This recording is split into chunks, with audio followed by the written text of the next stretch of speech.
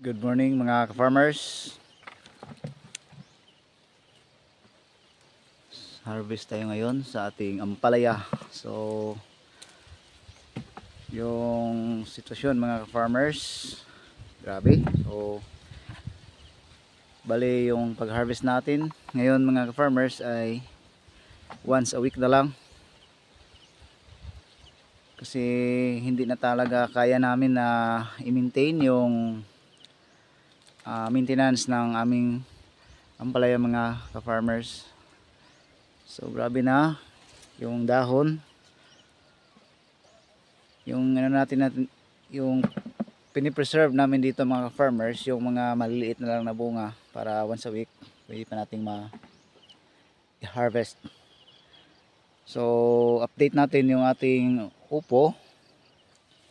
Delayed talaga yung paglaki ng ating upo mga ka-farmers kumpara sa open area.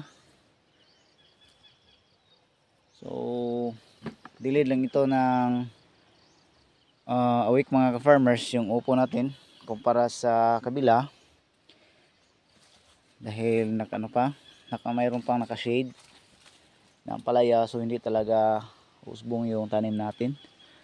So ito yung mukha, ang bunga ng ating ampalaya, pang 21 harvest tayo mga ka-farmers hindi na tayo nagpakain ng abono dito at saka hindi din tayo nag-spray. Mga uh, dalawang linggo na siguro mga ka-farmers. So bale yung ina-harvest natin dito yung tinatawag namin dito na segunda mga ka-farmers kasi kunti na lang yung good so matagal lumaki yung bunga natin mga farmers ito ay good mga farmers pero alam nyo one week ngayon mula nung nag-harvest last harvest namin so bali ano na lang, sinagaan lang natin dito kasi sayang naman kung patayin natin yung ating tanim ng palaya, mayroon pa man nagbigay pa man siya ng reject o segunda mga farmers.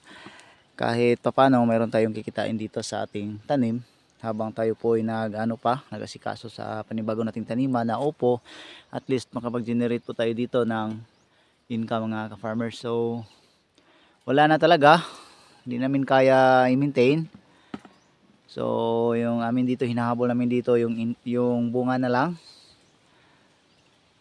Saka wala pa namang uod na dumadapo sa ating tanim sa ngayon mga ka-farmers. Siguro, nasa um, mga 100 to 150 siguro yung overall na kilos na ma-harvest natin dito. Kasi uh, meron tayong nilagay na sa sako mga farmers. So, wala na talagang uh, mga ano talbos na lumalabas. So sarado na po yung mga dahon mga ka-farmers. Kung mayroon man napakaliit na lang ng tsansa na ito po'y magtuloy-tuloy mga ka-farmers. So ito na po yung update mga farmers sa ating 21th harvest.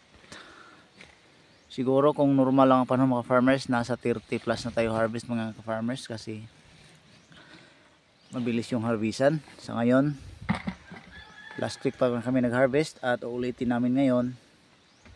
So yun lang.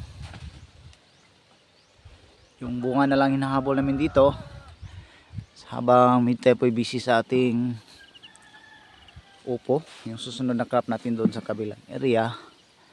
At saka pag off natin dito mga farmers inihanda na din natin yung panibago natin taniman ng palaya doon sa kabila. Siguro nasa 2 kilometers away dito mga ka-farmers.